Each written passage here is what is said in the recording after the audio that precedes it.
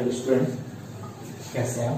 आज पढ़ते हैं ट्वेल्थ क्लास का जो नया चैप्टर है मैट्रिक्स हमने पढ़ लिया है। अब आगे पढ़ते हैं डिटर्मिनेंट्स डिटर्मिनेंट्स हमारा फोर्थ चैप्टर होता है और ये मैट्रिक्स से ही रिलेटेड चैप्टर होते हैं और कई इंटरेस्टेड इजी चैप्टर होते हैं। उसको ज़रा देखते हैं, कैसे सॉल्व करते हैं डिटर्मिनेंट्स और डिटर्मिनेंट्स होता क्या है। यानी कि कोई भी मैट्रिक्स यानी कोई भी मैट्रिक्स है, वो क्या करता है किसी न किसी एक्सप्रेशन या किसी न किसी नंबर को एसोसिएट करता है। यानी उसके अंदर अगर हम उसको सॉल्व करें तो कोई ना कोई एक्सप्रेशन बनाएगा या कोई ना कोई नंबर उसके अंदर एसोसिएट होता है, उसको हम डिटर्मिनेट्स कहते हैं। जैसे मान लीजिए कि अगर हमें कोई भी मैट्रिक्स है, मान लीजिए कोई मैट्रिक्स है ए इसका ऑर्डर क्या है? वन इंटू वन यानी कि ऑर्डर वन हो। जब किसी मैट्रिक्स का ऑर्डर वन हो तो उसका देखिए डिटर्मिनेट्स क्या है? जो इसके अंदर एलिमेंट है, वही उसका आंसर आ जाएगा। इसका डिटर्मिनेंट कितना आ जाएगा? डिटर्मिनेंट इसका आंसर आ जाएगा एक ठीक है? अगर अब ऑर्डर टू हो जाए ऑर्डर टू किसी भी मैट्रिक्स का ऑर्डर टू होगा तो एलिमेंट कैसा होगा देखिए? ए वन वन होगा ए वन टू होगा ए टू वन होगा और ए टू टू होगा। यही ऑर्डर बनेगा। ठीक है? जब इसका डिटर्मिनेंट्स निकालते हैं तो क्या करते हैं? जब इसका डिटर्मिनेंट्स निकालेंगे क्या हो जाएगा? A one one A one two A two one A two two ये तो मैट्रिक्स था ब्रैकेट में जब हम डिटर्मिनेंट्स निकालते हैं तो ये साइन लग जाता है। जब डिटर्मिनेंट्स निकलता है तो इन दोनों का इंटू हो जाएगा। यानी कि A one one into A two two minus का साइन ये इसके साथ A one two into A two one so solve करेंगे तो इसका आंसर आ जाएगा। ये हमारा हो गया जो ऑर्डर टू होगा। ठीक है? अब देखते हैं, जब किसी मैट्रिक्स का ऑर्डर ऑर्डर थ्री होगा तो कैसे होता है? जैसे मान लीजिए ए वन वन है ए वन टू होता ए वन थ्री होता ए टू वन होता ए टू टू होता A two three A three one A three two और ए थ्री थ्री इस हिसाब से बनता। और जब हम इसका ऑर्डर वो निकालते हैं डिटर्मिनेट्स तो हम ऐसे बनाते इसको मैट्रिक्स में बनाते इसको हम रखते हैं डिटर्मिनेट्स के फॉर्म में। और इसको जब हम सॉल्व करते हैं तो क्या होता कि ये टर्म अगर मान लीजिए हमारा रो है फ़र्स्ट ये है रो सेकेंड ये है रो थर्ड हम किसी एक रो या किसी कॉलम को एक्सपेंड करके हम डिटर्मिनेट्स निकालेंगे। जब थ्री बाई थ्री का मैट्रिक्स आता है या डिटर्मिनेट्स निकाल के जाता है तो तो क्या कर रहे हैं? पहले रो को एक्सपेंड कर रहे हैं। तो हम expanding row expand row first यानी कि आर को एक्सपेंड कर रहे हैं। क्या हो जाएगा? यहाँ जाएगा ए वन वन ऐसा जाएगा।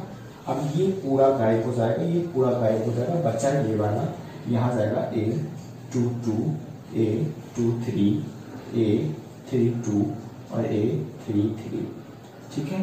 पहला प्लस होता है, अगला माइनस हो जाता है, फिर ए वन टू आ जाएगा। A one two one two करेंगे। फिर ये पूरा जाएगा और ये पूरा जाएगा, बचा ये वाला।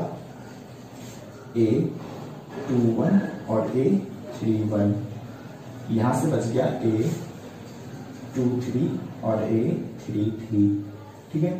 फिर ये हो गया, अब यहाँ पर आते हैं। प्लस का साइन ए वन थ्री जब वन थ्री को एक्सपेंड करेंगे तो ये गया ये गया, ठीक है? बचा ये वाला A two one A two one A three one A three one A two two और A three two A two two और ए थ्री टू इस हिसाब से मैट्रिक्स के डिटरमिनेंट्स रखेंगे। यहाँ पर जो वैल्यू होगा, क्या होगा? इसके साथ इंटू हो जाएगा माइनस ये हो जाएगा, ठीक है? अगर हम इसको सॉल्व करेंगे, क्या हो ए वन वन ऐसे है और यहाँ पर A two two into A three three ठीक है? फिर minus A two three into A three two ये ऐसे बन जाएगा, ठीक है?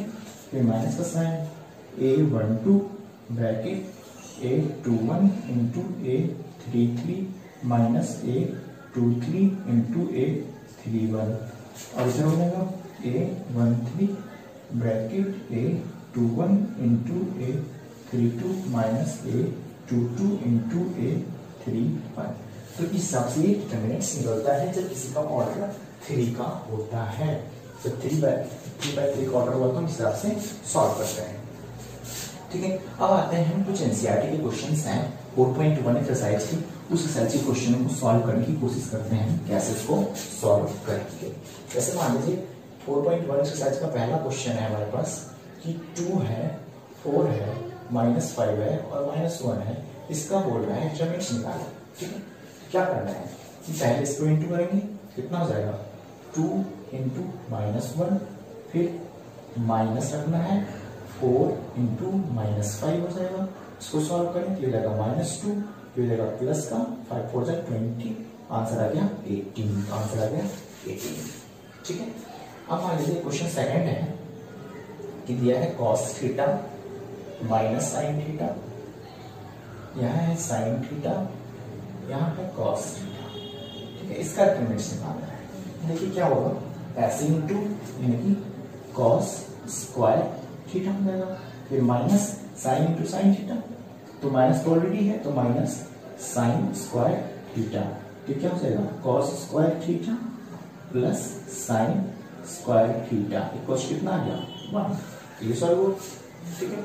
आगे देखते हैं। थर्ड क्वेश्चन थर्ड क्वेश्चन है हमारे पास कि ये तो फ़र्स्ट का थर्ड क्वेश्चन का देखते हैं फ़र्स्ट पार्ट क्वेश्चन है हमारे पास कि X square minus X plus का वन और यहाँ पर है x माइनस वन यहाँ को x प्लस वन यहाँ को x प्लस वन अब हमें इसका डिटर्मिनेशन निकालना है। क्या हो जाएगा कि देखो ये इसके साथ इंटू ये इसके साथ इंटू हो जाएगा x प्लस वन ब्रैकेट और यहाँ आ जाएगा X square minus X plus का वन, फिर माइनस का साइन एक्स माइनस वन और यहाँ पर एक्स प्लस वन ठीक है? अब ये एज इट रहने देते हैं एक्स प्लस वन ठीक है? दोनों में कॉमन आ रहा है कॉमन ले लेते हैं, बच गया। यहाँ से क्या? X square minus X plus का वन और यहाँ से बच गया माइनस का एक्स और प्लस का वन। अब देखिए, क्या हो जाएगा? एक्स प्लस वन हो जाएगा। और ये एक्स स्क्वायर माइनस का टू एक्स और प्लस का टू ये हमारा डिटर्मिनेशन बन गया इसका। निकाल सकते हैं, ठीक है? नेक्स्ट क्वेश्चन देखते हैं कि कैसे सॉल्व करना है। एक क्वेश्चन है हमारा एनसीईआरटी का 4.1 का क्वेश्चन नंबर थर्ड है, जिसमें आपको कह रहा है कि ए कोई मैट्रिक्स है, ठीक है? वन है टू है फोर है टू है और मैट्रिक्स है। और कह रहा है? Then so that so that two A का determinants is equals to four A का डिटर्मिनेट्स फोर इंटू ए का पहले क्या करना है? टू मैट्रिक्स को टू से मल्टीप्लाई करके डिटर्मिनेट्स निकाल लो फोर पहले मल्टीप्लाई से आता फोर से मल्टीप्लाई करो तो सबसे पहले हम एलएचएस सॉल्व करते हैं। एलएचएस हमारे पास है टू ए का डिटर्मिनेट्स यानी कि मैट्रिक्स को टू से मल्टीप्लाई है ना? टू से मल्टीप्लाई करते हैं टू ये जाएगा फोर हो जाएगा एट ये हो जाएगा फोर इसका निकालना इंटरमीडिएट्स तो फोर टू जा एट माइनस एट फोर जा थर्टी टू कितना से यहाँ पर? ट्वेंटी फोर माइनस का आ गया। ये आ गया हमारा एल एच एस और अगर हम निकालें आर एच एस तो हमारे पास आर एच एस है। फोर ए का डिटर्मिनेट्स ठीक है? फोर को ऐसे ले लेते हैं। ए का डिटर्मिनेट्स पहले निकाल लेते हैं हम। ए का डिटर्मिनेट्स निकालते हैं। टू टू टू वन जा टू फिर माइनस का साइन फोर टू जा एट ये आ जाएगा फोर इंटू क्या बचेगा यहाँ पर? माइनस का सिक्स आगे माइनस का ट्वेंटी फोर अब देखो ये दोनों मैच कर गया हम लिख लेंगे L H S is equals to R H S proved हमें प्रूव हो गया। ठीक है? इस तरह से क्वेश्चन सॉल्व हो जाता है। एक क्वेश्चन और इसी पे बेस्ड क्वेश्चन नंबर फोर्थ है। वो आप आराम से कर सकते हो। ट्राई करना। सॉल्व हो जाएगा इजीली तो हम क्वेश्चन आगे बढ़ते हैं।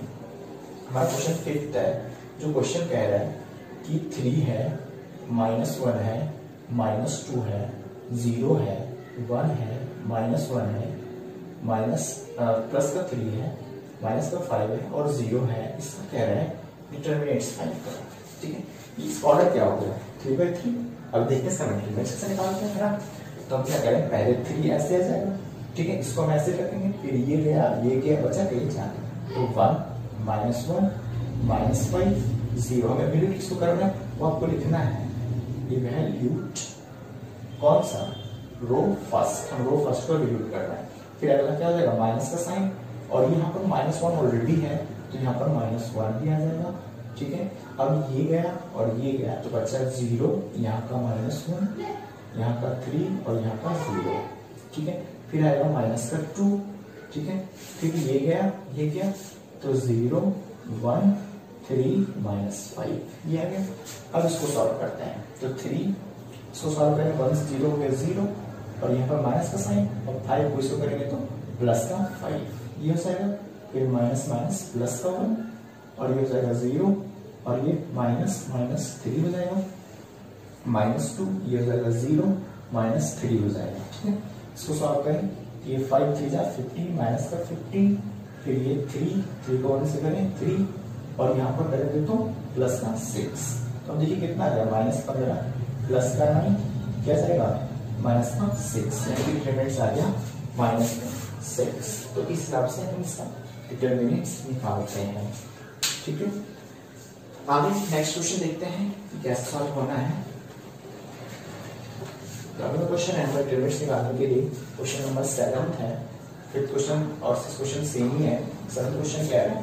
कि find the value of find value of x जब वैल्यू फाइंड करना है, जब आपको टू फोर दे रखा है फाइव और वन दे रखा है, और इक्वल टू में है टू एक्स यहाँ पर फोर यहाँ पर सिक्स यहाँ पर एक्स कोई मैट्रिक्स है? डिटरमिनेंट्स है, बस वैल्यू क्या है? इक्वल है। तो एक्स की वैल्यू क्या है?